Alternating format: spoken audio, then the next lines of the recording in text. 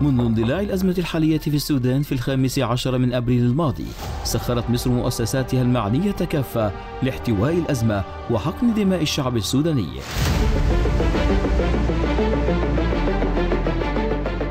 التحركات المصرية استندت إلى ثوابت رئيسة تمثلت في الحفاظ على استقرار ووحدة السودان وأراضيه وبحلول سودانية خالصة بعيدا عن أي تدخل خارجي.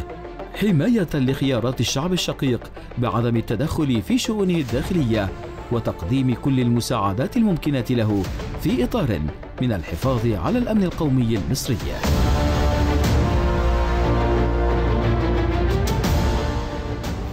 من هذا المنطلق لم تتوانى الدولة المصرية وفي مقدمتها مؤسسة الرئاسة عن إجراء اتصالات مكثفة مع دول الجوار وقادة دول العالم ومنظماته لاحتواء الأزمة في السودان ورأب الصدع بين الأطراف كافة وعملت في سبيل ذلك على العديد من المبادرات. كان أبرزها استضافة القاهرة قمة دول جوار السودان في الثالث عشر من يوليو الماضي لصياغة رؤية مشتركة بين تلك الدول واتخاذ خطوات لحل الأزمة وحقن دماء الشعب السوداني وتجنيبه الآثار السلبية التي يتعرض لها.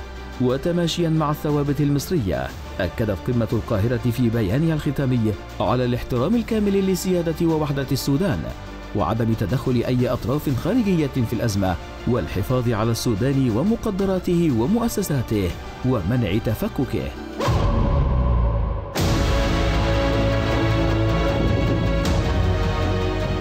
لم تتوقف مصر عند مساعيها السياسية لتسوية الأزمة وإنما كان حضورها قويا.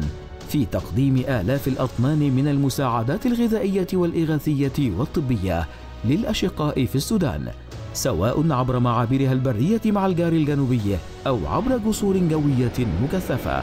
مصر لعبت كذلك دورا محوريا وفعالا في إجلاء رعاياها وكذا رعايا الدول الأجنبية من السودان كما وفرت خروجا آمنا لرعايا معظم دول العالم بجانب تقديم الخدمات الصحية والعلاجية لهم بالإضافة إلى استقبال الآلاف من السودانيين عبر معبر أرقين وقسط البريين وهو ما حظي بإشادة دولية واسعة النطاق.